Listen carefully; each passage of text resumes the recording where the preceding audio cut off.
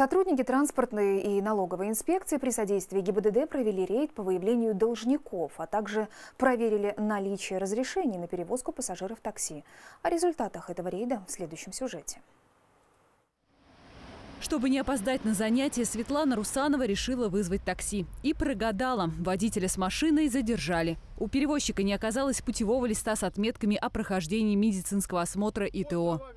Сейчас уже опаздываем, я прям сейчас, волнуюсь, сейчас, да, сейчас потому что у нас осталось 30 минут до занятий.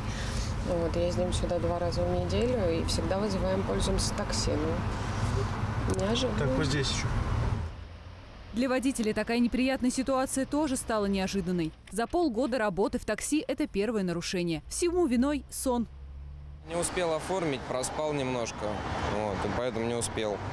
Взял заказ первый сегодня остановили. Ну, что поделать, виноват. Сегодня водителю Филиппу Панфилову работать не придется. Его машину изъяли. Но не только ему не повезло в этот день. В это утро сотрудники ФНС также выявили должников по транспортным и имущественным налогам. Мы берем а, у человека паспорт, либо водительское удостоверение, вбиваем в программу. Программа нам показывает, есть ли у человека задолженность.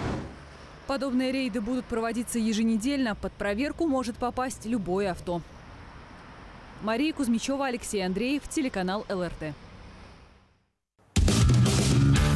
Всем привет, я Луиза, а вы смотрите телеканал ЛРТ. Подписывайтесь на наш канал на YouTube, ставьте лайки, и вы будете в курсе самых интересных событий.